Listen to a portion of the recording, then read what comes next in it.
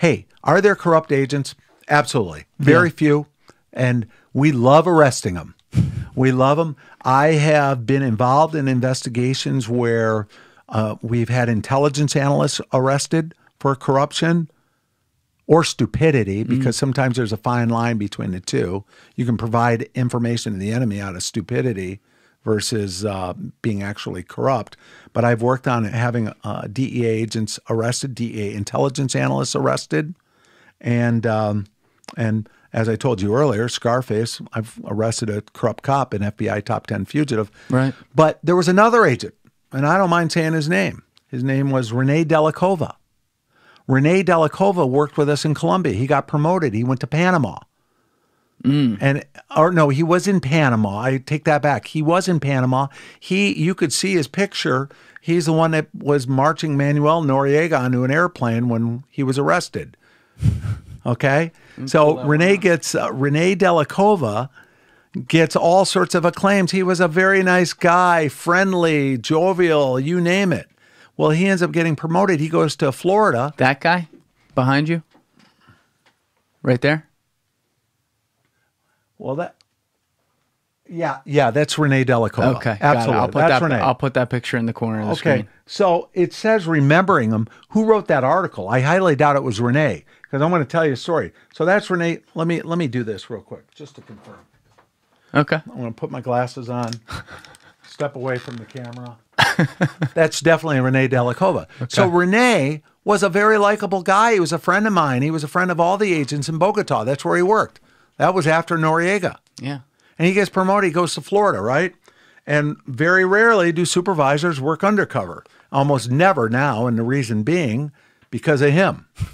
what happened was they were doing money laundering pickups, right?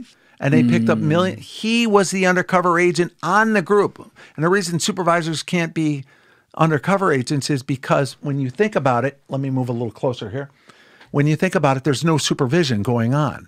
Nothing people can run amok. So what happens is he's picking up money, suitcases full of money for money launderers. So he goes and picks up a half a million or a million dollars here and he takes it back. He's being followed just like all the protocols, everything, right?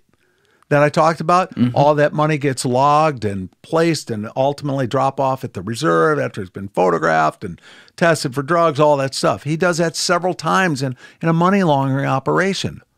Huge deal, right?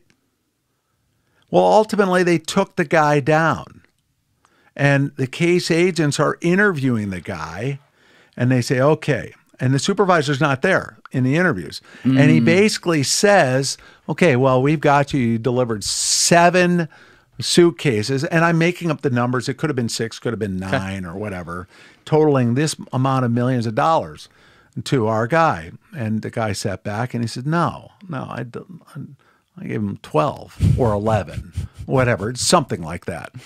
So what happened was Rene went and made pickups on his own with no backup.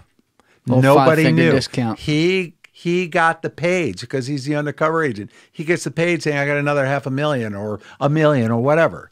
Ultimately, these agents knew something was wrong. Make a long story short, internal affairs, what we call the Office of Professional Responsibility, OPR, part of our internal investigating our own, get wind of it.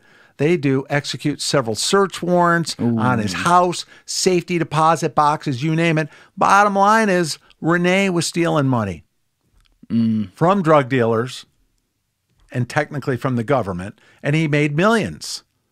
Well, he paid the ultimate price when it comes to apart from death, and that's freedom. Well, he was sentenced to prison. I don't know the amount of time that he got, but uh, there's more to that story. People can research it on their own. There Yeah. could have been an accomplice that he was involved with, all that stuff. But the bottom line is the guy that helped take down Manuel Noriega ended up stealing money from the government, corrupt agent. We're really glad that the agents that were on top of the investigation, honest agents, got word to the people that had to get the word too. Rene Delacova was a corrupt agent, and he went to prison for it. Thank you for watching the video, guys. Please hit that subscribe button and check out this clip's full podcast episode by clicking here or in the description below.